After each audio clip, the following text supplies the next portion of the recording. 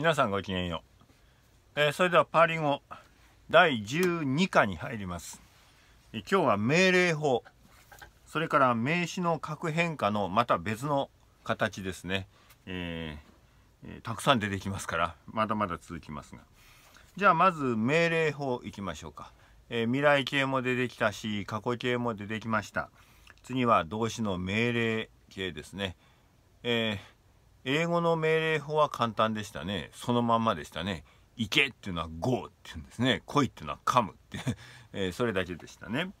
であのパーリングも実はあの同じなので、えー、一番簡単な命令向かいあの自分の目の前にいる相手に対して何々しろっていう時には全く変化させずに例えば、えー、ガッチャティという動詞だったらあの行けっていうのはガッチャ。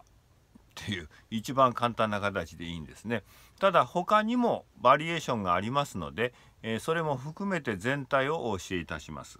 それでは115ページいきましょうか、え、命令法。そこに動詞の核変化 あごめんなさい。動詞の変化ですね、え、核変化って言ったらダメですね。これは名詞だから、え、動詞の変化の、え、その語尾の形ですね。えー、現在形の変化は mi si ti ma tha nti でした。これはもう覚えておられると思います。 mi si ti ma tha nti。それに対して、えー、命令形になりますとね、命令法になりますと、 mi hi tu ma tha ntu です。 mi hi tu ma tha ntu。ミシティ・マタンティを覚えているから、比べてみるとすぐ分かりますね。ミ、一人称一緒なんですね。あの普通の変化現在形のあの単純変化とこの命令法の変化と同じ形なんですね「み」は。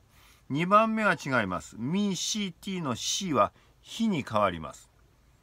それでですねよーく聞いてください。このこの115ページのこの表の「ひ」のとこね「ひ」のとこその「ひ」のとこの右側に小さい横棒が引いてあるでしょう。横棒。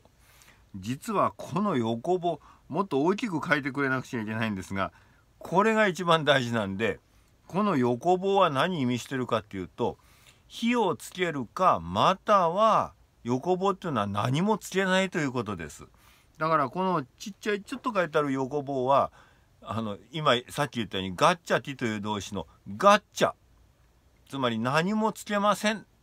それが二人称の単数の命令法なんですという意味なんです。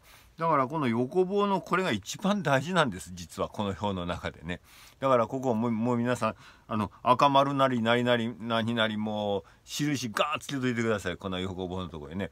何もつけない形と書いといてください。よろしいですね。そして三人称単数が to これも違いますわね。ミシティに対してここはミヒトゥですね。で、えー、複数になるとマタンティナのはずが、はずがじゃない、マタンティだったものがマタントゥになるから複数だけがントゥという形で違う形になりますね。だからこれ逆に言いますと逆にっていうかね、あのー、見ていきますと変化しないところ変わらないところは普通の変化なのかあの現在形のね、えー、あの単純変化なのか命令法なのかわからないということなんですね。だからそれは文脈で判断するということになります。でその左、えー、右側の反照体はもうこれは見るだけにしといてください。ほとんどが能動体で出てきますからあのアクティブで出てきますのでねミドルでは出てきませんのでこれはこういうものがあると思っててください。はいそれでその下の文章ですけれども、えー、1番目の三角形は読んどいてください。2番目の三角形がこれがさっき言った横棒のとこ横棒何もつけないということを言ってんです。えー、第一類動詞「あ」を加えて語気が作られるものの場合時々火が削除されることがあり削除っていうか最初からつかないんですね。火が削除されることがあり二人称単数は現在語気語気っていうのは元の形と同じ形を取ることがある。だからガッチャティの動詞だったらガッチャになりますよと。いうさっき私が言ってるこの横棒のことをここで言ってるわけなんですね。よろしいですか？で命令法の認証語尾変化で、えー、具体的にあの、えー、動詞を入れてみますと例えばババティババティあるなるですね。ビカム。あの何べんもも出てきてますがババティの場合には下からいきますとババーミでババかまたはババーヒ。なんですね。これババっていうのは何もつかない、えー、横棒の形ですね。それから三人称になるとババトゥ。複数になるとババーマ。ババタ。ババントゥ。ババントゥ。ここが特徴的ですね。あと見といてください。こんな風に変わるということです。よろしいですか？何も難しいことありませんね。それから116ページになりましてやはり同じように、えー、 dadāti suṇāti、えー、 karoti。これも重要ですね。 karoti。もありますが皆これ後ろの形は同じように作っていきますので、えー、まあからの下から順番に1人称2人称3人称の順番で声に出して必ず23回いいですか、えー、声に出して練習してください。耳で覚えてくださいよ。目で見てたってダメですよ。あの声に出して覚えてくださいね。それからその同じ116ページの下の12の3ですね。あっ例の重要な動詞ねあって B 動詞についてはえ、ちょっと特別な形になってるので、え、気をつけてくださいということで、え、一人称から下からいきますと「あんひあすみ」次が「あーひ」なんですね「あーひ」になってます。それからその次3番目が三人称が「あっと」です「あっと」「あっと」それから複数になって「あんはあすま」「った」「あった」それから「さんと」複数の三人称はサントなんですね。これはもう特別な形になりますね。えっ、ー、とこれ50ページと51ページを見ておいてください。50ページと51ページにアッティとそれからホーティという最も重要な B 動詞の元の変化形が出てきてます。あの現在形のね。でその変化形とこれと見比べてよく覚えておいてくださいよろしいですか？であと117ページは命令法の例でいろんな動詞が出てきてますがどれ見たってその三人称単数命令形というね3番目のコラム縦に見ていきますとどれ見たって三人称単数は to で終わるんだから最後は to になってますわね。もうこれで簡単に見極められますね。三人称に関しては to が出てくれば命令形だってことはすぐ分かります。はい。で命令法の用法使い方です。三人称の命令形っていうのはどういうものか。一番分かりやすいのは二人称の命令形なんです。二人称の命令法というのは二人称ですからあなたでしょ。目の前にいるあなたに対して使うんだから普通の命令なんです。行きなさい。食べなさい。勉強しなさいっていうふうにあなたは何々しなさいというんだからこれが普通の命令。三人称だとその目の前にいるあなあなたではなくて第三者に命令形を使うわけなんですね。そうすると彼は行きなさい。彼は行きなさい。目の前にいない人に対して行きなさいってどういうことかというとそれは行くべきだ。行くのがよかろう。行くといいねとこういうふうにどっちかというと希望が出てくるわけなんですね三人称で使うと。それがここで出てくるわけで、えー、三人称の場合命令法は以下のように用いられる。まず命令を表す場合これは何々させよ何々するがよいとこうなりますね。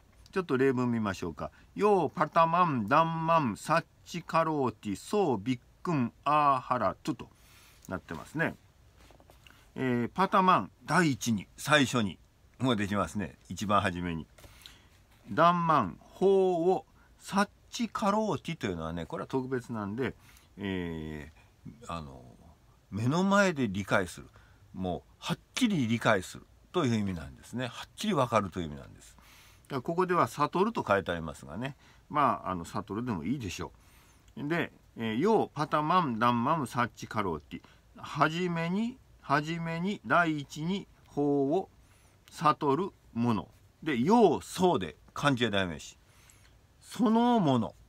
そうで受けますね。そのものは次のあごめんなさい。さっきビッグって読んじゃったね。これビッカですね。ビッグだとビクという意味になりますがビッカだとあの施しの食べ物のことです。施し物のことをビッカというんですね。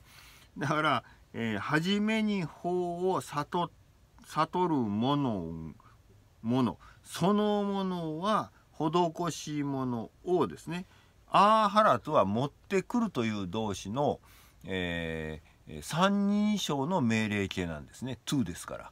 そうすると持ってくるのがよかろう持ってくるべしというふうにね目の前にいる人じゃないんだけどもその第三者が持ってくるべきだとこう言ってるわけなんですね。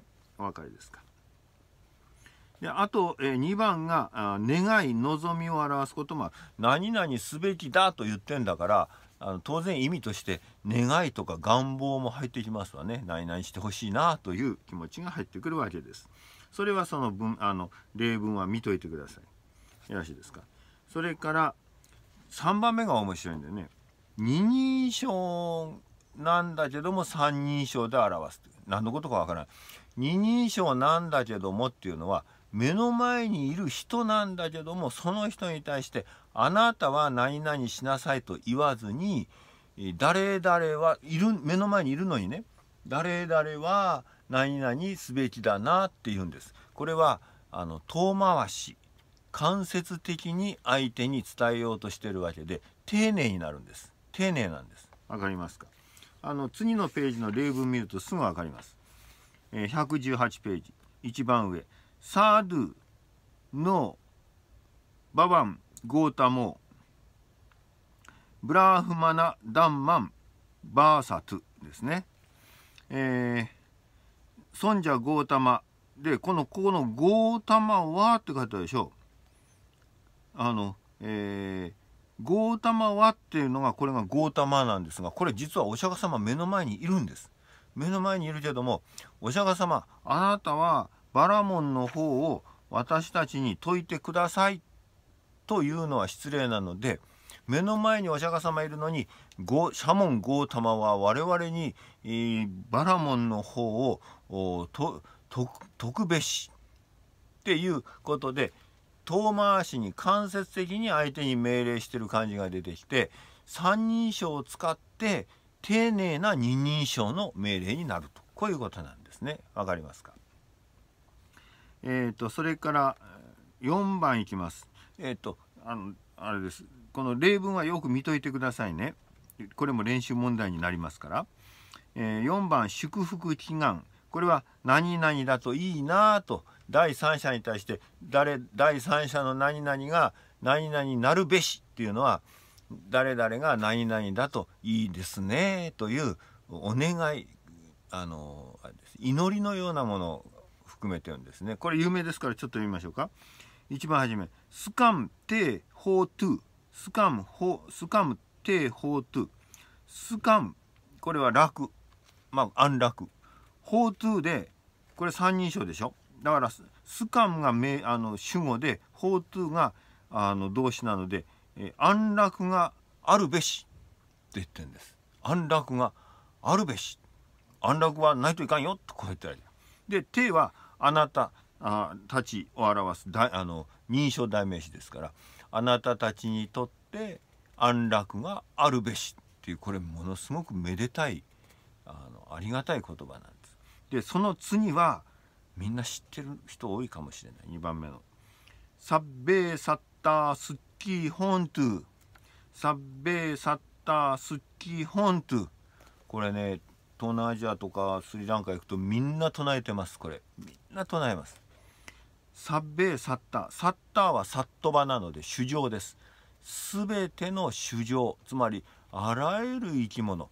生きとし生けるもの。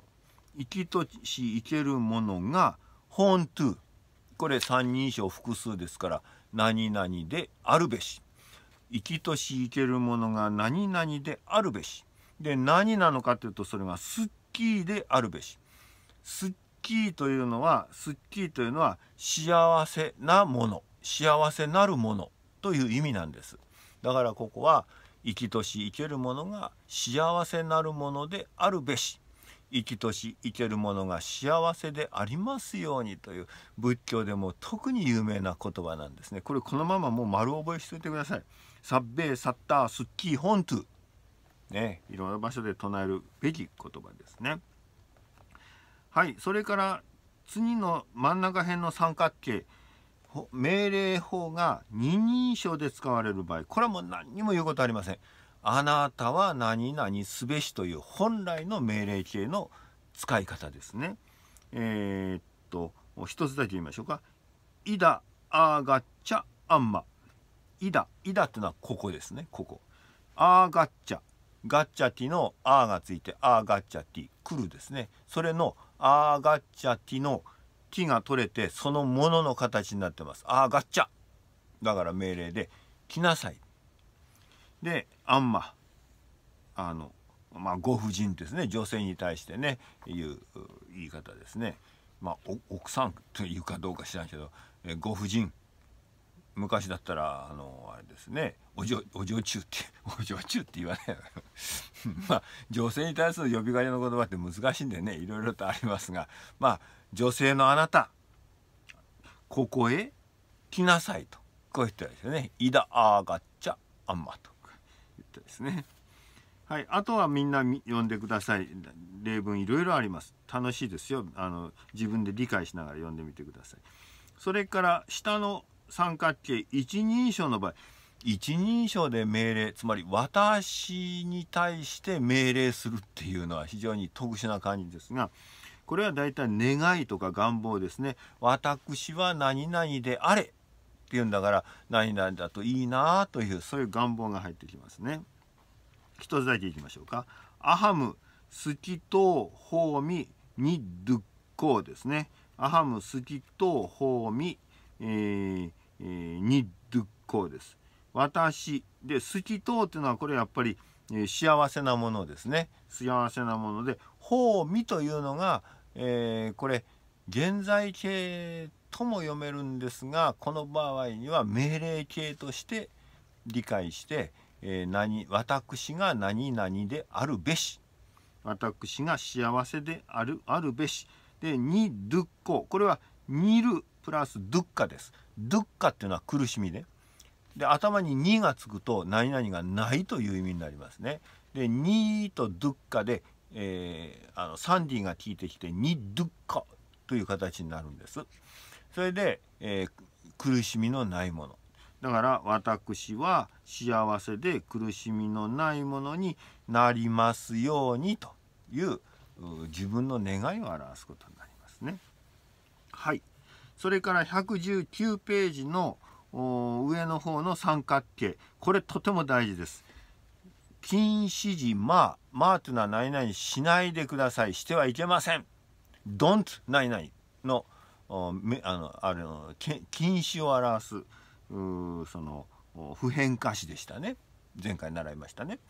そのまあと命令形を合わせるとまあ何々だから何々まあがなければ何々せよでしょそれに「まあ」がつくから「何々するな」という当然そういう禁止の命令になるわけなんですね。よろしいですか？えー、一つ目の例文でいきますと「トゥバム」「シーガム」「ガッチャ」「マー」「ティッタ」とこうなりますね。えー、あなたはシーガムっていうのはあのすぐにもうあのさっさとっていうですね。でガッチャこれ命令形もうわかるでしょ？もうわかるでしょ？ガッチャであなたはすぐに行け。で、その後、まあ、ティッタ。ティッタはティッタティ。そこにいる。そこにいる。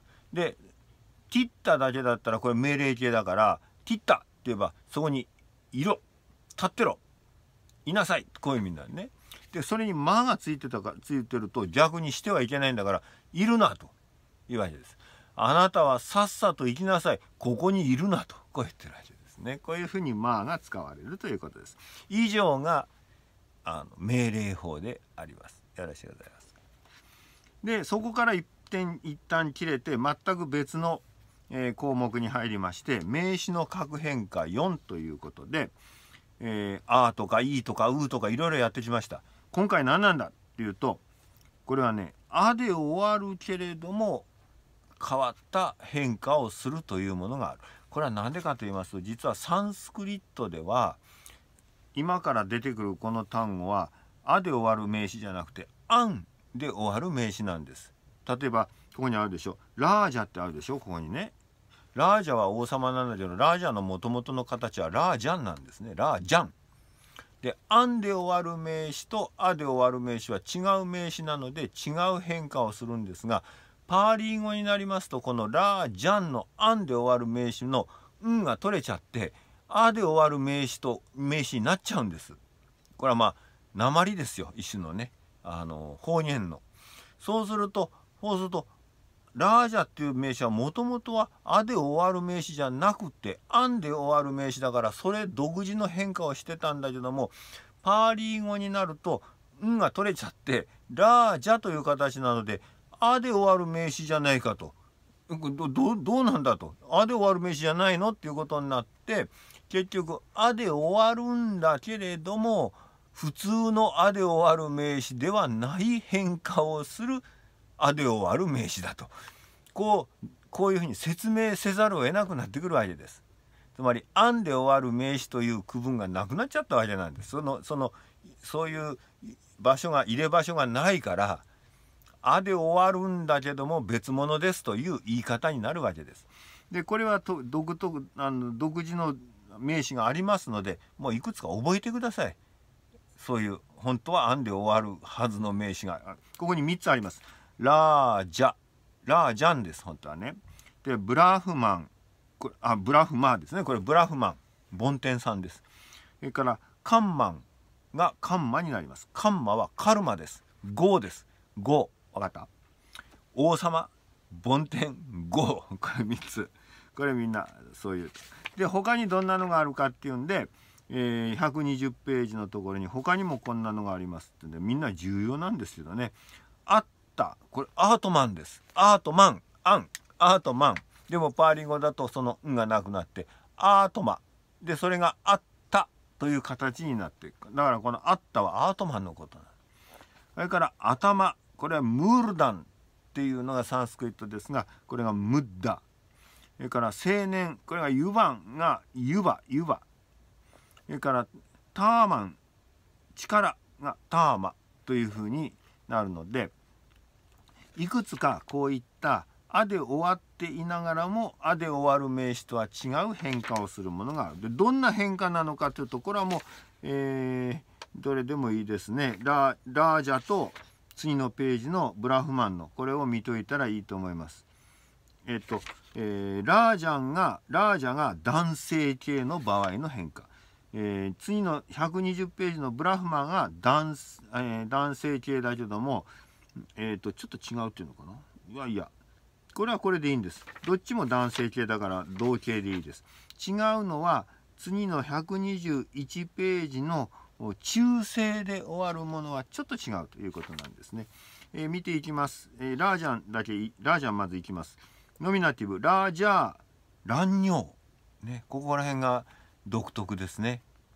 あの普通の単純な「あ」で終わる男性名詞にこんな「尿っていうのは最初から出てきませんもんね。ここら辺が特徴です。ラージャー乱尿。ラージャン。ラージャーナン。それからインストルメンタルがランニャーですね。ラージェーナ。ラージェーナという形もあるんだけどもそれとは違う形が出てきてます。ランニャーラージナラージェーナ。でインストルメンタルの次にアブラティブへ飛んで「ランニャララジャンハ、えー、ラジャスマそれからデイティブへ戻ってランニョラージノラージャッサジェニティブ。ランニョーラージノーラージャッサ。ランニャッサというのがまた一つ足してますね。でロカティブがランニェーラージニラージャンヒラージャスミン。でボカティブがラージャラージャ。それから複数になりましてラージャーラージャーのノミナティブね。アクザティブラージャーのここの辺気をつけてくださいね。非常に特殊な形に見えますね。それからインストルメンタルラージュビラージュヒラージュヒラージェビラージェヒもうどうでもいいけどもとにかく B とヒがついてます。それからアブラティブがラージュビラージュヒラージェビラージェヒ B とヒがついてます。デイティブへデイティブ戻ってランニャムラージュナムラージュナムラージャーナムジェンティブへ飛んでランニャムラージュナムラージュナムラージャーナム全く一緒でまあナムがついてるぐらいでねだいたい勘弁してって感じですね。ナムナムついてますっていうくらいで共通してます。それからロカティブがラージュスラージュースラージェス何でもいいから「す」がついてると。いうことです。それからボカティブがラージャーラージャーのですね。よろしゅうございます。かで、えー、121へ、飛んでカンマに行きましょう。中性だとちょっと形がだいぶ変わりますね、えー、いきますよ。カンマカンマン。カンマカンマン。インストルメンタル。カンマカンマナカンムナカンメーナ。アブラティブ。カンマカンマナカンムナカンマンハカンマスマ。デイティブへ戻ってカンムノーカンマッサ。ジェニティブ。カンムノーカンマッサ。ロカティブカンメカンマニカンマンヒカンマスミン。でボカティブカンマ。複数。カンマーカンマーニ。カンメーカンマーニ。カンメービカンメーヒ。アブラティブ、感銘美、感銘比、デイティブ戻って、カンマーナム、ジェニティブ、カンマーナム、ロガティブ、感銘ス、ボカティブ、カンマー、カンマーニ。で、中性比較的分かりやすいね。やっぱり男性との男性の案の形はいっぱいあるのでややこしいですね。えー、表作ってください。表作ってね、並べてみてください。こんな覚える必要はないですよ。覚えなくても大枠いつもの通り感覚でなんとなくいきましょうよろしいですかともかくもう一遍言いますと「あ」で終わる名詞なんだけどももともとがサンスクリットだと「あん」で終わる別系統の名詞が混ざり込んできているんですと。でその名詞に関しては普通の「あ」で終わる名詞とは違う形の変化をとるので、えいくつか特徴的なものがありますのでそのその名詞はまあ覚えとくのが一番早いでしょうとそんなにもう膨大にあるわけじゃない数はそんなにないのでこんなものがありますねということを覚えておくといいでしょうというわけです。121ページにカンマと同様に核変化する中性名詞っていうのがいくつかありますのでこれなんかも見ておくといいですね。これも水野先生の辞書を引けばこういう情報も出てきますから、えー、そんなに心配しなくても大丈夫です。はい練習問題は121ページは飛ばしまして122ページの、え、B のところですね、え、この練習問題をやってください難しくなってきましたのでちょっと、え、パーリー語のアップをするこのインターバルを長めに取ります1週間に1回って思ってたけどもちょっと皆さんきつそうなので、えー、もう少し1週間よりは少し長めに長めに取りながらアップをしていきますから、えー、どうぞ慌てず焦らず復習をしっかりやりながら練習問題に挑戦をしてください。はい、じゃあ今日はこれで終わります。ごきげんよう。